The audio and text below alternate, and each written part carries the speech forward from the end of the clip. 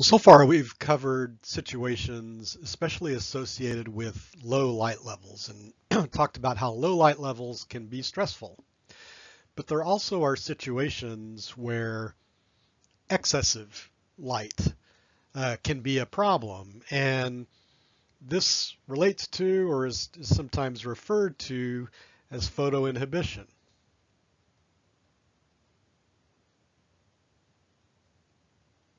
And that re refers to situations when photosynthetically active radiation exceeds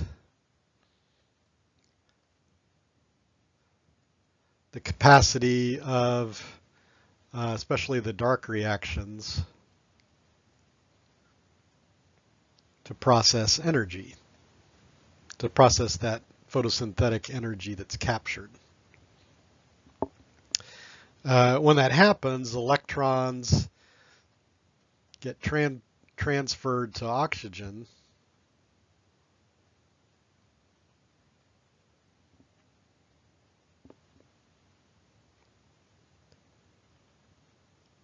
But energy is not transferred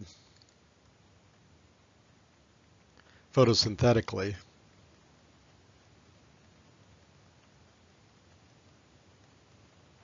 So that excess energy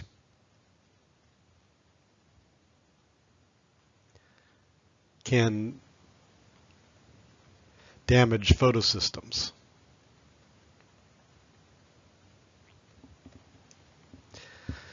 Sorry about that terrible hand, handwriting, but the, these situations tend to be more likely under environmental stresses.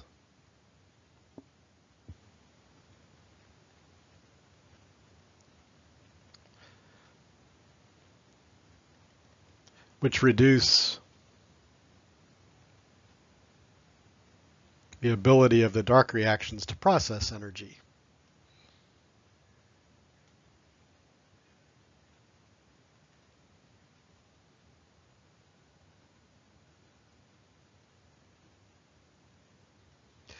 So for instance, situations like nutrient stress,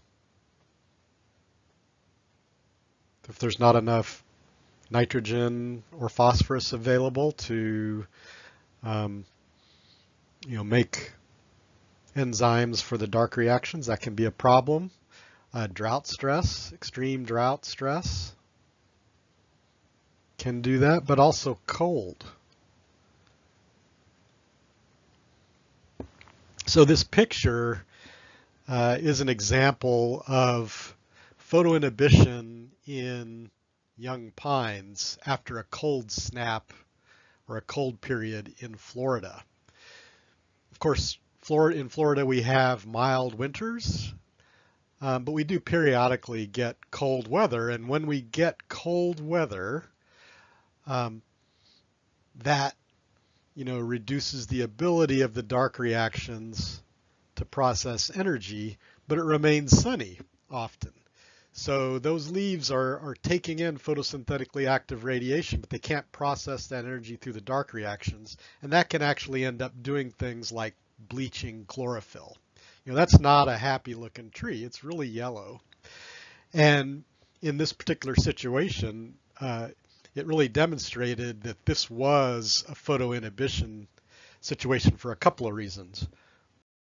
One of them was that the effects were more apparent on the south side of the tree, on the sunny side of the tree. So this is the north side of that tree, and you can see the needles are fairly green.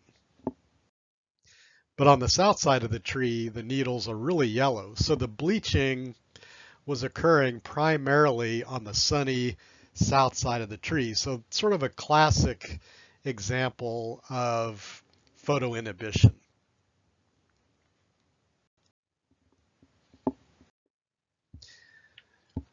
Another situation where sometimes photoinhibition is implicated is uh, with thinning shock.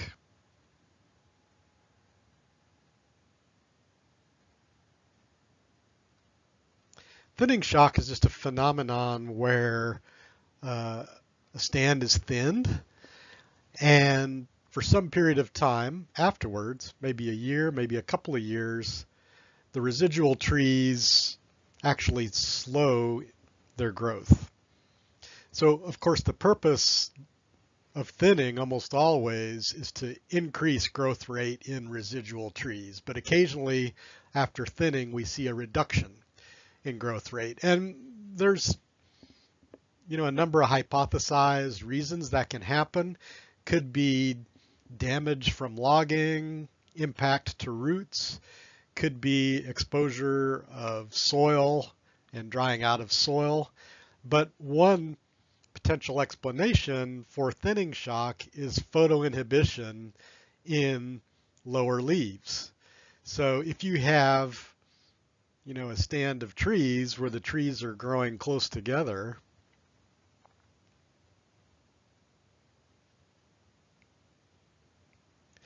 in those situations, these lower parts of the crown um, are fairly shaded. But then if we, you know, kill half the trees in a thinning and open up these trees to radiation, those uh, leaves on the lower branches are suddenly exposed to bright sunlight.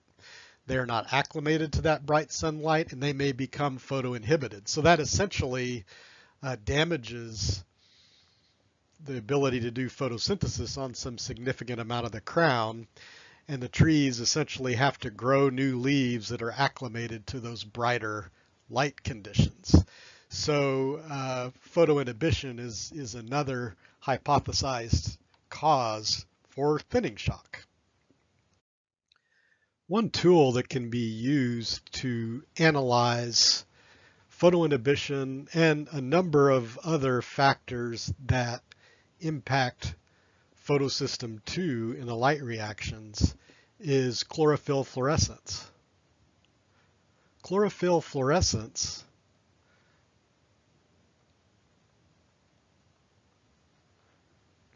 measures fluorescence as it as its name implies. So recall that when chlorophyll absorbs a photon and moves into an excited state by capturing the energy from that photon, one of three things can happen.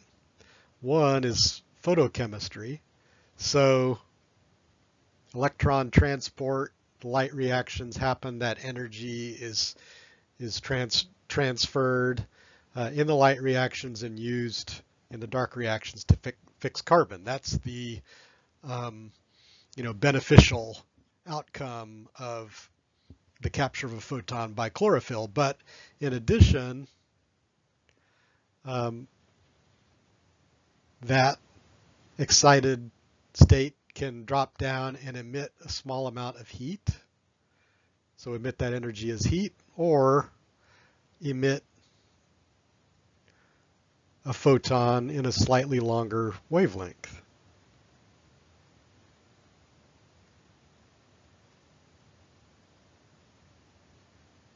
That third option is fluorescence. Okay.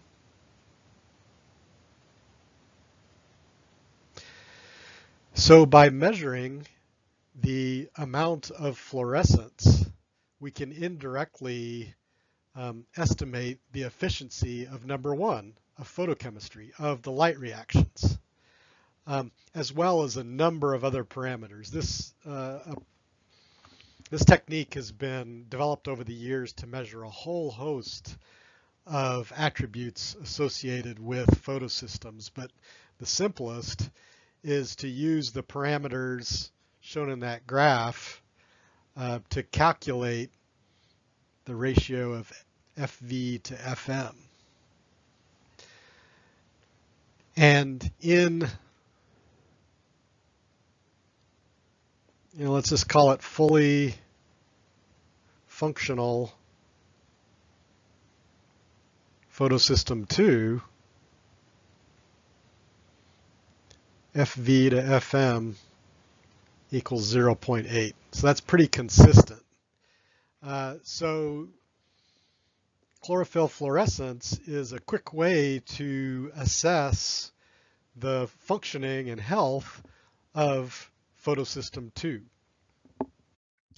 When FV to FM goes down, as in this graph, that's an indication that um, there's something wrong with photosystem 2, like photoinhibition, for instance. So, you know, this is healthy or fully functional photosystem 2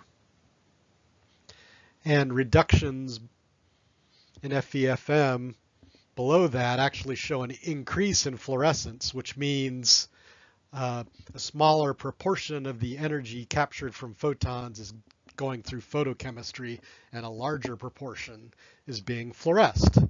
Um, and that can be due to any of a number of reasons, one, one of which is photoinhibition. So a number of stresses can be on the photosystems can be detected relatively easily with chlorophyll fluorescence. It's a relatively straightforward measurement. So um, it's a quick physiological index of the health of photosystem 2. Leaves have a number of mechanisms to protect photosystems from, for instance, excessive light. And one of those is the xanthophyll cycle.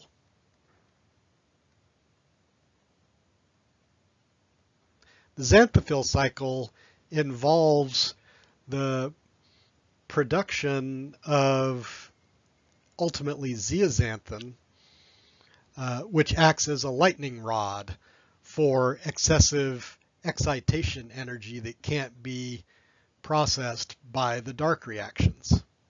So this zeaxanthin here absorbs excess excitation energy that can't be handled by the photosystems.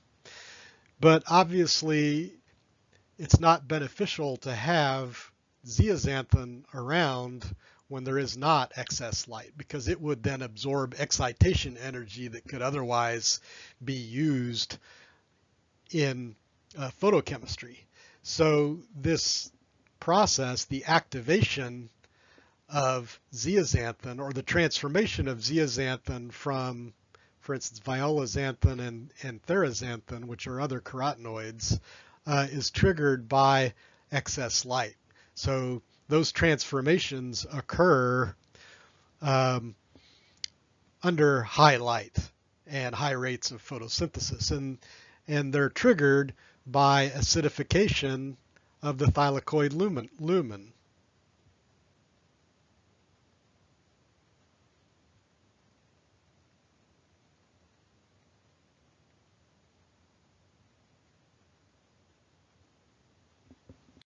So recall that during photosynthesis, uh, remember this is a, a diagram of the thylakoid membrane, that during the light reactions, water is split to produce hydrogen ions. And that, so that when the light reactions are occurring rapidly, there's lots of H plus being formed in the thylakoid lumen, and that, of course, then acidifies the thylakoid lumen. So that acidification is one of the main signals that signals the, that basically is a signal that, okay, photosynthesis is churning along at a rapid rate near capacity. And at that point, the xanthophyll cycle kicks in and um, zeaxanthin is formed and acts as sort of a lightning rod for those excess for that excess um, excitation energy. So that acidification of the lumen is sort of the signal that allows that transformation and then the scavenging of that additional um, excitation energy. Now, obviously humans have observed bright colors in fall foliage for forever. um, but it's only relatively recently that we have a better understanding of all of the um, adaptive benefits of fall coloring. Now, some of the fall colors result from when chlorophyll, which reflects green, starts breaking down, it reveals other col colors from other pigments such as carotenoids, for instance, which uh, maybe are yellow. Um, but in addition, some of the brighter colors like the reds and sometimes even purples are, um, so let me back up, those some of those carotenoids uh, are, for instance, auxiliary photosynthetic pigments. They capture photons and transfer them to the reaction center. So those are just being reve revealed as chlorophyll is broken down. But some of the colors, like I said, bright reds, purples, and so on, those uh, are caused by anthocyanins. The interesting thing about anthocyanins is that they don't occur in chloroplasts like carotenoids, for instance. Anthocyanins occur in the vacuole of cells. So here's a plant cell, and you know the cell wall, here's the chloroplasts, and here's the vacuole of the cell. Well, those anthocyanins are in the vacuole. So clearly they don't serve a photosynthetic, a direct photosynthetic purpose. They're not transferring energy uh, to reaction centers like accessory pigments and chloroplasts might be. So there's been some puzzling. Well, then is there an adaptive benefit to anthocyanins? And the consensus now is that anthocyanins basically help to protect the chloroplasts from photoinhibition during leaf, both leaf senescence, when chlorophyll is breaking down. You can imagine as chlorophyll is breaking down, nitrogen and other nutrients are being retranslocated out of the leaves, there's a lessened capacity for um, the light reactions and then dark reactions of photosynthesis. Um, but there's still some photosynthesis going on.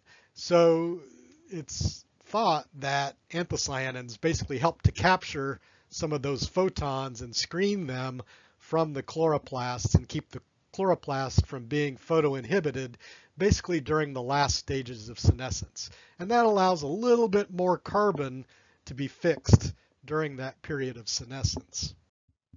In addition, so, you know, th this is a senescent leaf here, right? So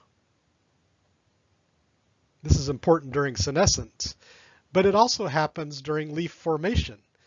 You know, here's a, a vine growing up uh, the wall of my house, and these are the newly formed leaves on the vine. These are the more mature leaves. These are the newly formed leaves where um, the leaves are still expanding, chloroplasts are still being produced, chlorophyll is, is building up. Those leaves also have high concentrations of anthocyanins in their vacuole. And the purpose or the benefit is similar in that those anthocyanins are screening those chloroplasts from photoinhibition during that period of development when the capacity to handle excitation uh, energy is low. So anthocyanins protect leaves both during their initial phase of expansion and then also during senescence to allow um, carbon fixation to occur and continue during those times in the life of the leaf.